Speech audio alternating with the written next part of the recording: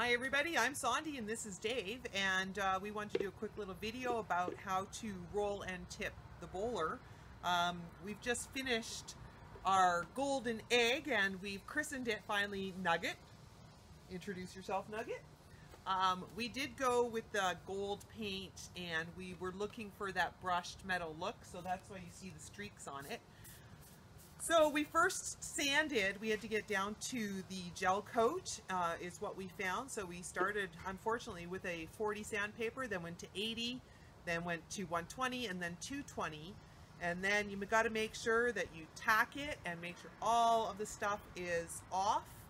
That is the old paint and any spots you fill in with either Bondo, fiberglass, whatever you need to do.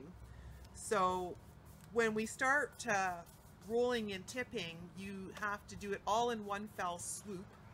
And so here we go, we're just going to do it quickly. I have to get my paint.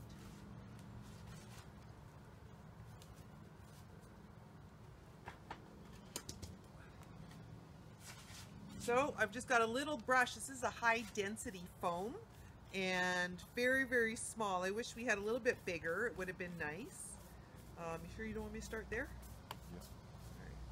So, just rolling and rolling and off we go.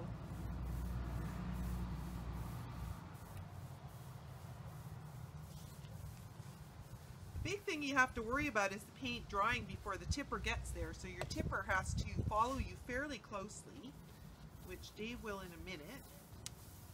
And he just does the very, very light, light strokes across.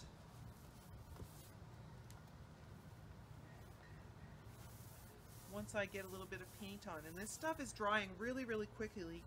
I'm not going to go into what paint we're using, except to say that we were gifted a really, really lovely uh, gold color, as you can see. And uh, there's only like 10 of them in Canada. So if you're going with a solid color, it will come out without those streaks on it. But that's the look we were going for uh, to make it look like brush metal. Can see Dave is just going across really, really easily.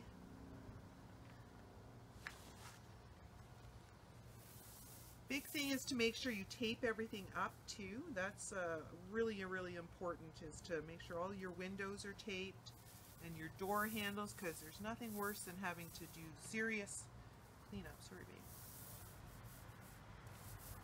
Because that stuff is hard to get off.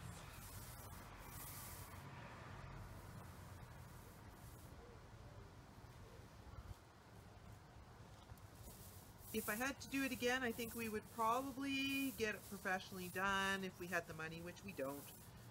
So we're doing this on a budget and uh, so we're doing timeline. it in we're doing it and we also have a, a, timeline so we're doing it in our backyard in our makeshift garage which is all these uh, tents that I have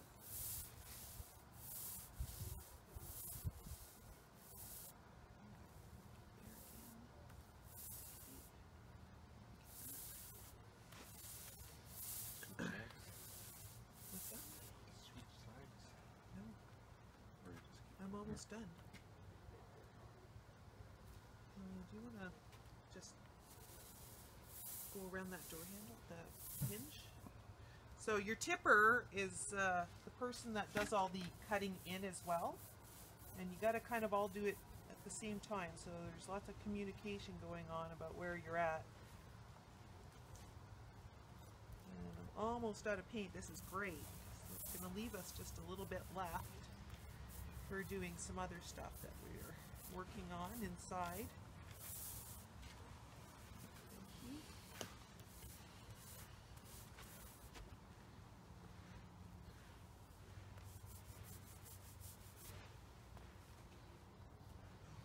perfect amount of paint.